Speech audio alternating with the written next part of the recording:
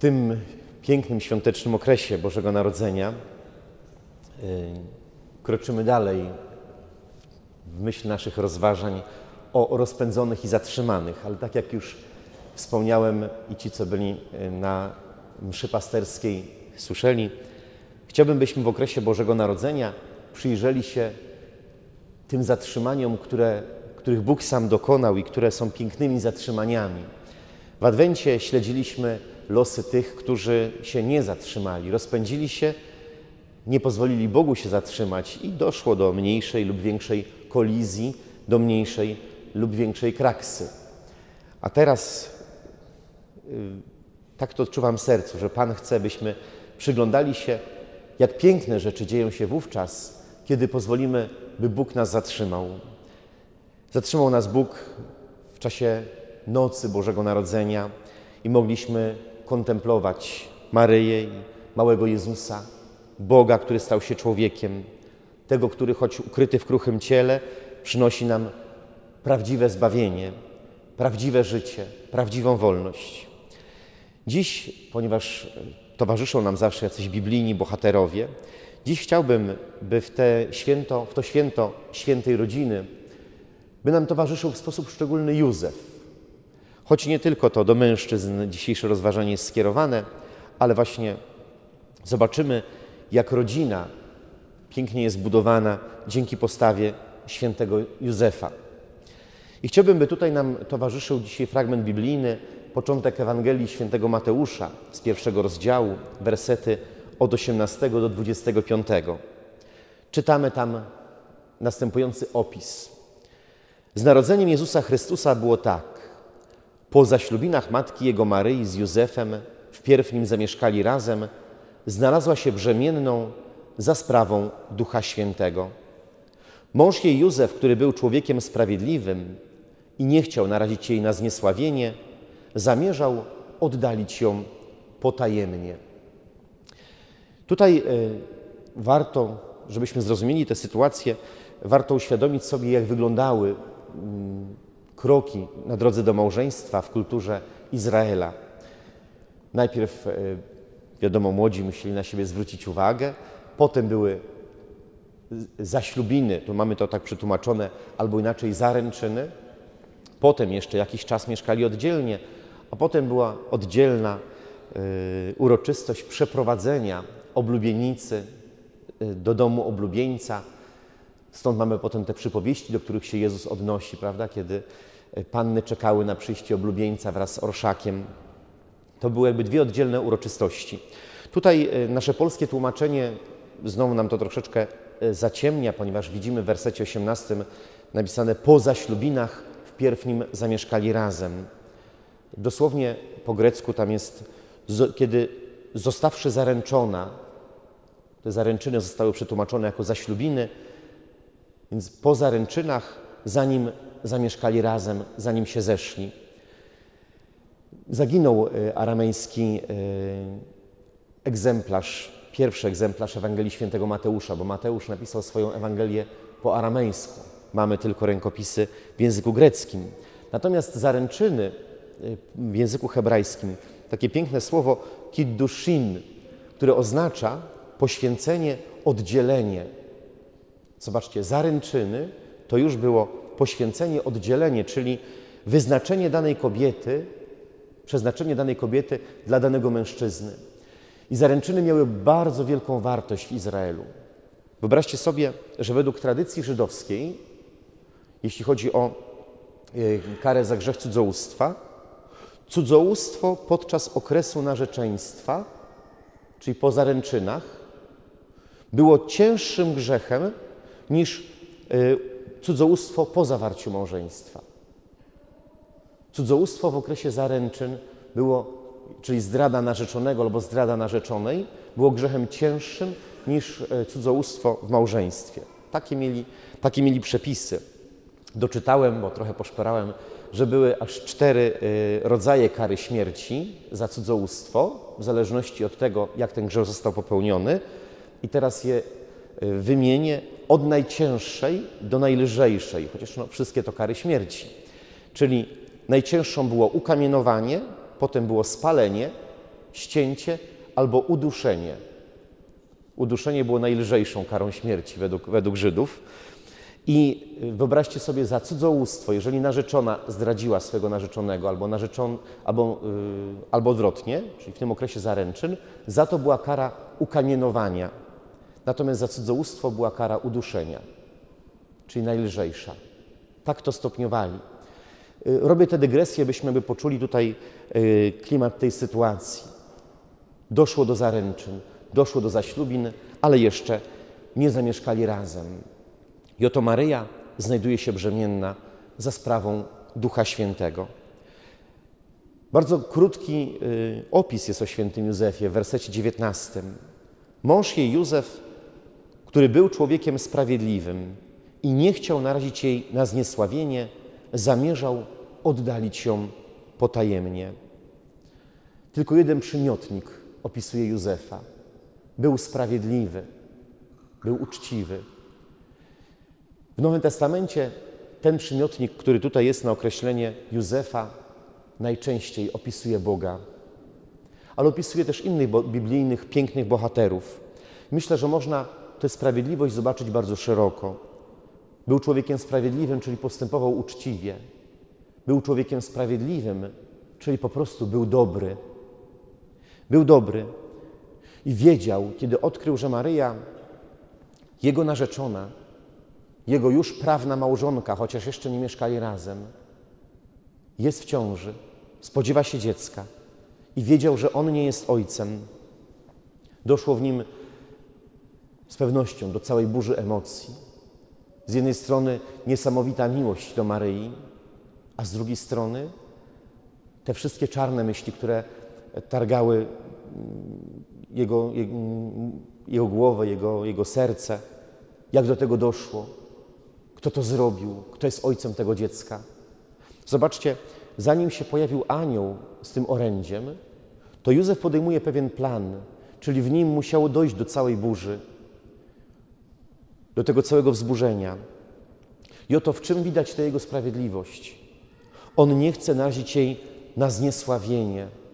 Tutaj jest użyte kolejne słowo, które oznacza publiczne pohańbienie.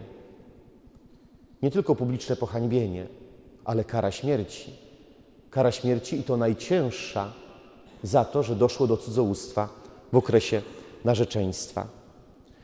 Zobaczcie, ten dobry, zakochany w Maryi, sprawiedliwy, uczciwy człowiek, sprawiedliwy, czyli będący blisko Boga, podejmuje pewien plan. Zamierza oddalić się potajemnie.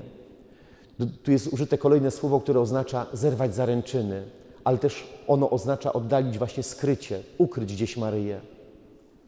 Tutaj z jednej strony jest to decyzja. Maryjo, doszło do czego doszło, nie ma już dla nas wspólnej drogi.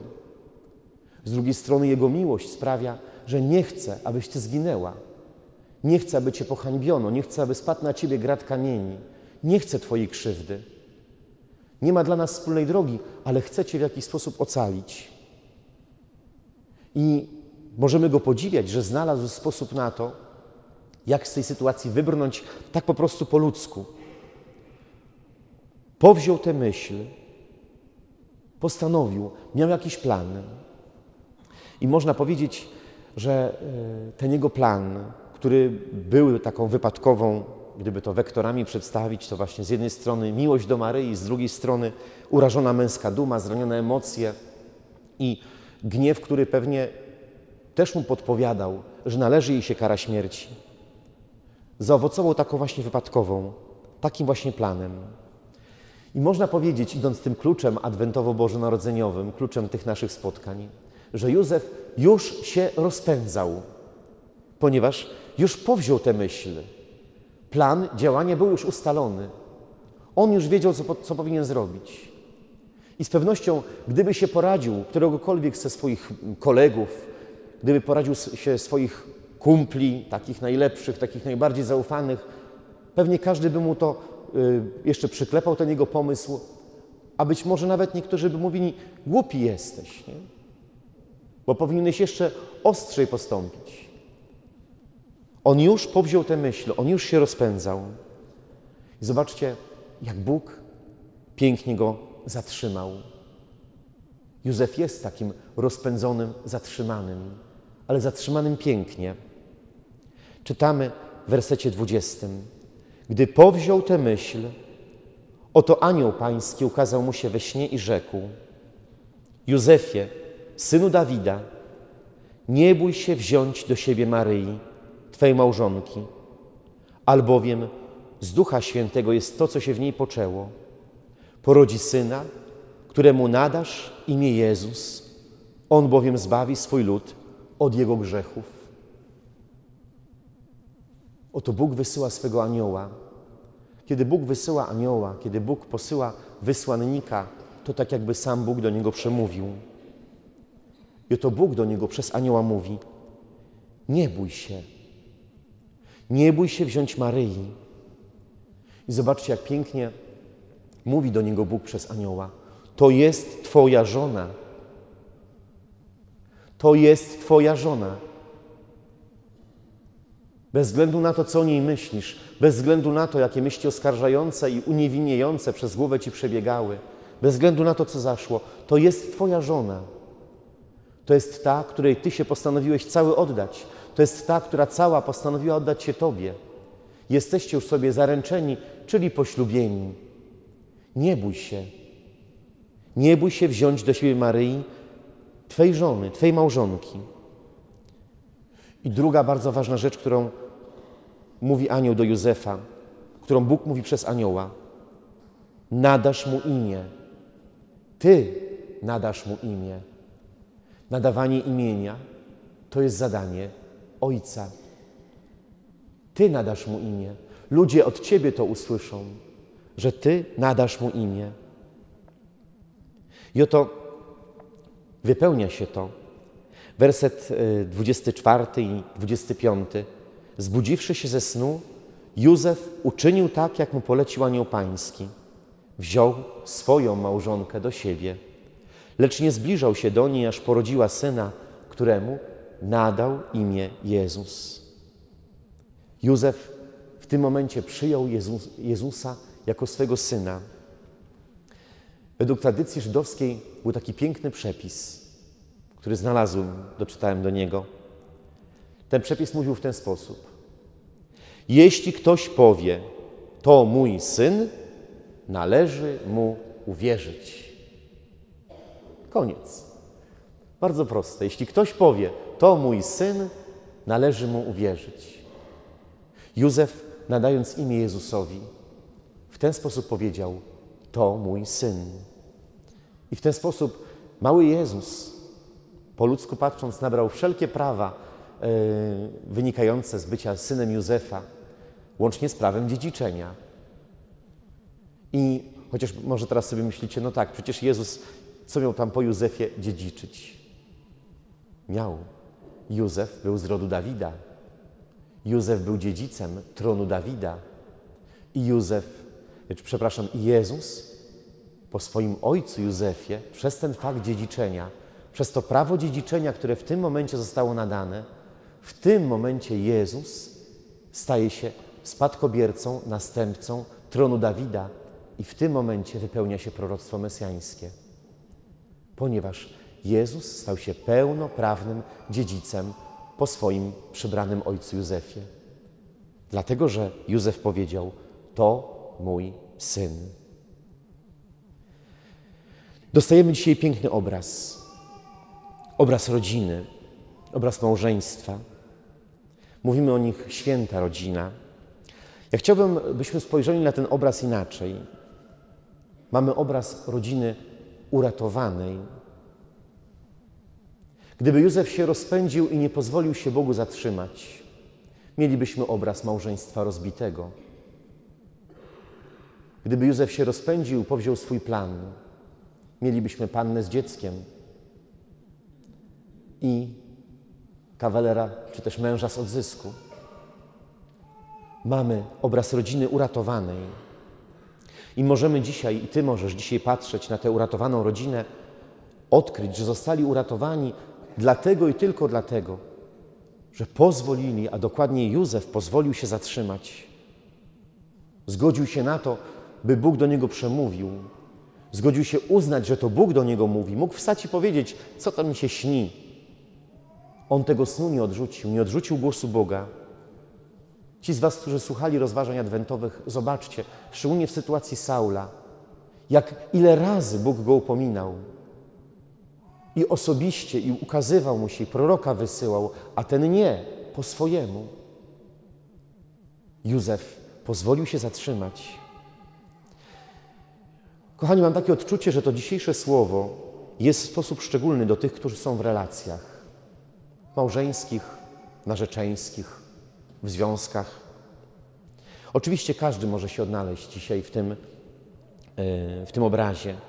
Przede wszystkim każdy z nas może spojrzeć, na ile ja pozwalam Bogu mówić do mnie. Ale szczególnie myślę, że to jest słowo do tych, którzy są w relacjach. Szczególnie do mężczyzn, ale myślę do kobiet też. Do Was, którzy próbujecie na swój sposób, na swoje, e, swoje rozumienie i na swoje odczuwanie zbudować związek.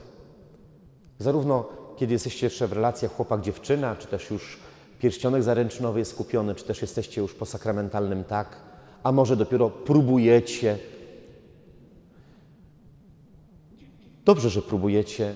To nie pochwalam teraz mieszkania wspólnego razem przed ślubem, ale dobrze, że próbujecie budować o własnych siłach, bo trzeba włożyć też siebie i swój wysiłek. Natomiast zobacz, jak przez tę historię Bóg mówi, bardzo wyraźnie, bardzo mocno do nas. Przez obraz rodziny, która powinna się rozlecieć, a została uratowana. Bóg wyraźnie pokazuje, że On i tylko On jest tym, który, który może tak zjednoczyć mężczyznę i kobietę, że będą szczęśliwym małżeństwem i szczęśliwą rodziną. Przez ten obraz Bóg dzisiaj zadaje bardzo konkretne pytanie. Po pierwsze, chciałbym, żebyś zadał sobie pytanie, czy Bóg ma w ogóle szansę przebić się do ciebie? Czy Bóg ma szansę dotrzeć do Twojego serca? Czy Ty w ogóle starasz się Go usłyszeć? Bo są tu wśród nas tacy, którzy tak się jeszcze trochę z Panem Bogiem, mówiąc brzydko, macają. Że tak, czy On pozwolić Mu, czy nie pozwolić? Czy dajesz Bogu szansę, żeby On do Ciebie dotarł? Czy starasz się Go usłyszeć? Jeżeli tak, to jest drugie ważne pytanie. Czy jesteś gotów pójść za tym, co Bóg Ci powie w budowaniu relacji, nawet wbrew swoim emocjom i wbrew swoim pomysłom? To nieraz może być bardzo trudne.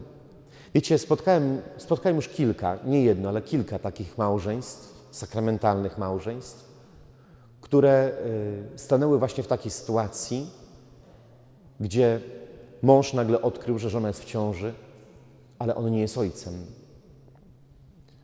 I te małżeństwa, które znam, o których teraz myślę, do tej pory są małżeństwami. Są uratowane tylko dlatego, naprawdę tylko dlatego, że mąż, ów zdradzony mąż podjął decyzję, że jednak to jest moja żona. I o swoim dziecku, czy o dziecku swojej żony mówi, to jest mój syn. W jednym z tych, mał tych małżeństw usłyszałem nawet takie piękne słowa, jak w ogóle doszło do tego, że się nie rozpadli, kiedy dowiedział się o zdradzie żony. Ten mężczyzna powiedział tak, mi proszę księdza, poszedłem się pomodlić, kiedy się o tym dowiedziałem. Jak się modliłem, to nie wiem czemu, ale mi się Józef przypomniał, że on też wziął kobietę z obcym dzieckiem i pomyślałem sobie, to czemu ja tak nie mogę zrobić? On nawet nie wiedział, że ta myśl, która mu przyszła, to natchnienie Ducha Świętego ale pozwolił tej myśli, by do niego dotarła, a potem podjął odważną decyzję. Panowie, to jest dopiero odwaga. To jest odwaga. Prawdziwa i to jest prawdziwa męskość. To jest prawdziwa siła, by powiedzieć: Będę bronił, ponieważ ją kocham, nie dam, nie dam tego zniszczyć. A jeśli, jeśli jeszcze dodatkowo Boga się w to zaprosi, Cuda się dzieją. Czy jesteś gotów pójść za natchnieniami, za głosem Boga? Jeżeli jesteś gotów, wiedz, albo jeśli nie jesteś gotów, też wiedz, że naprawdę nasz Bóg, ten, który jest nieskończoną miłością, poprowadzi Cię drogą prawdziwej, nie Twojej, ale prawdziwej miłości. tej, która od Niego pochodzi, czystej, która nie szuka swego, która nie pamięta złego, która wszystko znosi i wszystko przetrzyma. On i tylko On. Bóg, nasz Bóg. To jest jedyna droga, aby uratować rodzinę, małżeństwo, związek. Jeśli budujesz tylko na tym, co ludzkie, to jest bardzo kruche. Nie mówię, że to jest niemożliwe, ale bardzo kruche. Jeśli zbudujesz na Słowie Boga Twój związek, Twoją rodzinę, znacie historię o budowanym domu. Spadł deszcz, wezbrały potoki, zerwały się wichry, uderzyły w ten dom. On jednak nie runął, bo na skalę był zbudowany. Jedyna droga, by uratować. Zadanie na dzisiaj bardzo podobne do zadania z pasterki. Tym razem chcę Was zaprosić, abyś wziął w, dom, w domu pierwszy rozdział Ewangelii Mateusza, przeczytał tę historię. Szczególnie zatrzymał się na tym wersecie 24.